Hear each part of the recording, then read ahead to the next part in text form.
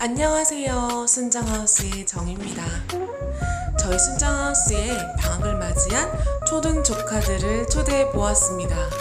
일주일 동안 순민이, 순호, 그리고 서연이와 석혜와 함께한 조카들 순정하우스 방문기를 편집해서 보내드리도록 하겠습니다. 현란하게 해야지 현란하게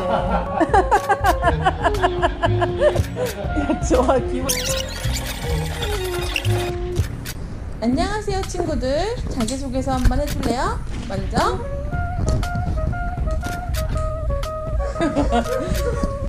그럼 또부터.